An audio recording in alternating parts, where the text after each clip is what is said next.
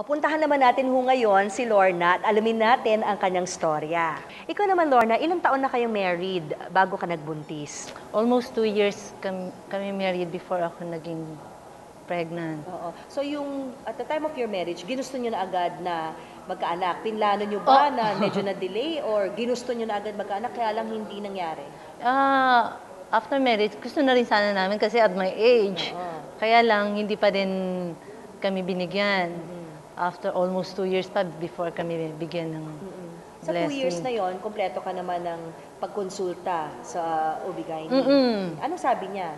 Ah, no- at first, ah, okay, binigyan lang kami ng mga vitamins. Tapos nung after six months na, sabi niya, ah, mag-undergo na, nag-pregnil siya, nag-shot ako ng pregnil for sa egg ata para Oo. Yung pregnil ay Ah. inject, injectable. mm, injectables.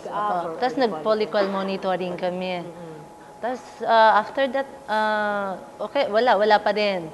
Tapos, Wala naman differential, di ba? Sa side ng mister mo, nagpa-sperm count ba Oh, nagpa-sperm count din So, siya. okay so, naman, okay healthy naman. naman. Pati yung sa akin, nag-ovulate naman. Ah, okay. Oo, kaya so, wala. ano raw yung problema? Ah, timing? timing, timing lang daw sabi ni Doc. Tapos, dahil nga retroverted yung kan, dapat yung mga position siguro, sabi niya. Oo, oo, oo. Oh, yun. Tapos, So, malaking factor na ah, kompleto ka ng pagkonsulta Mm. sa iyong OB-GYN para may follicle monitoring, sperm count, and yung pagbigay ng tamang vitamins, Oo, mga para vitamins. mabuntis ka. Oh. Ano yung mga pinagdaanan mo during your pregnancy muna na hindi mo akalain na pagdaraanan mo? ayun, the same sa kanya na nagsusuka. Ako naman, every, oh, between 5 to 7 p.m. Kaya sa office nag nag-adjust ako ng time. Dapat by 5 a.m. ay 5 p.m. nasa house na ako. Kasi talagang Yun nag- na yung- oo, yun na yung Yung time oras na. sa pagsusuka. Oo. Oo. So, hindi mo akalain yun. Oo, ano pa? ganun, na ganun, alam, meron, Oo. pero yung ganun ka, Katindi. oo, na first three months talaga, natapos siya, end na ng three month, third month ko eh. Ganun talaga yata pag first trimester. Oo. Ano pa? Tapos yung ah, yung diet ah, yung diet na sabi ng doktor, kailan ganito kasi ah, kung ano yung intake mo, ma- makuha ng baby. Kaya watch talaga namin yung diet ko. Oo, nahirapan ka doon. Oo, kasi before, Ano kain ka, mga ginibap mong bang pagkain para eh, sa baby? kakain ka sa fast food. Dapat hindi, hindi, hindi ka kakain masyado sa fast food. Kailangan lahat na, Fresh. oo, natural. Kahit nga yung sinigang, kailangan sabi ni Doc, wag kang gagamit ng mga... Mga may MSG. Oo, yung mga ganon. Okay, ikatlo, na hindi mo ina-expect na pagdaraanan mo sa pagbubuti. Na magsisiyes ako. Ayun, pag CCS. Bakit nga ba ikaw na CS? Kasi supposedly normal. Sabi ni Doc, kaya naman ng normal. Sabi ko, at my age, sabi niya, kaya pa naman. Wala namang problema sa amin. Kaya lang, 40 weeks and 3, 40 weeks na ako, wala pa rin sign ng labor. Hindi pa ako nagle-labor, sabi ni Doc. Parang kailangan na nating i-CS yan.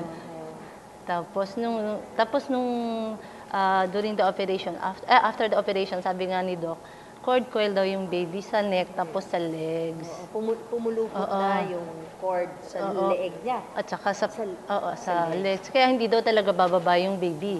Hindi ka ba nagpa-ultrasound para ma-check yun o makita? Hindi pa eh. Nung unang, yung last na ultrasound ko, yung 40 weeks ko, meron daw isa na maluwag. Sabi ni Doc, kaya pa yan. Tapos nung i, i, nung biyakin na ako, siguro masyadong malikot yung baby.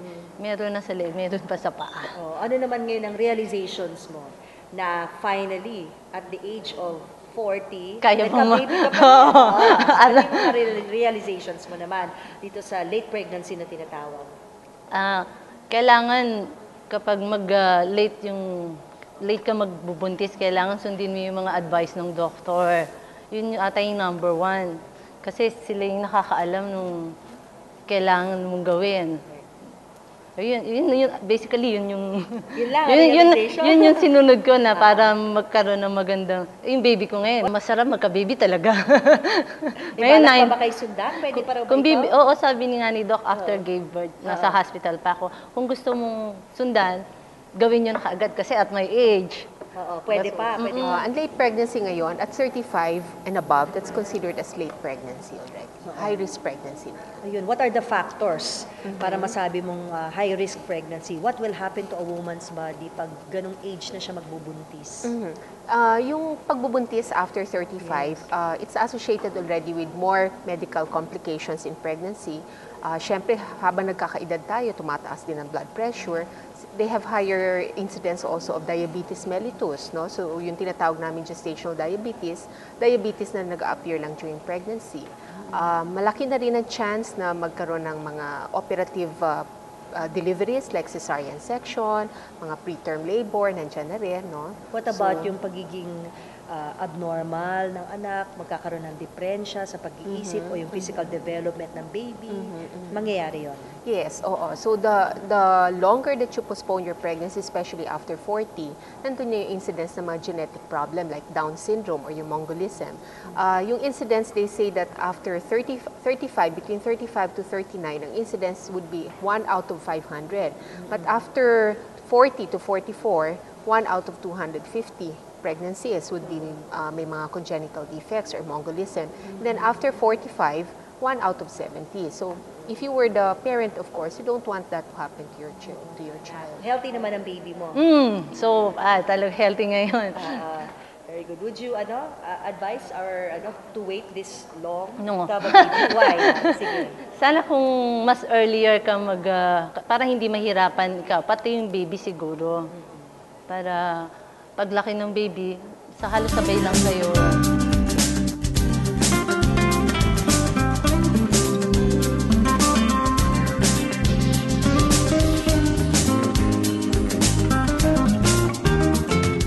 Enjoyed Parenting.tv. I'd personally like to thank The Peak at the Lancaster Suites for making us enjoy this beautiful 180-degree panoramic view. I'd also like to thank Josiah's Catering Baby Company. Thank you so much for your support and the cute uh, things for the nursery that we used for our set today. And thank you also to David Salon and, of course, to Director's Cut. So before I leave, parents, I leave you with this saying from George Bernard Shaw. Life is a flame that is always burning itself out, but it catches fire again every time a child is born.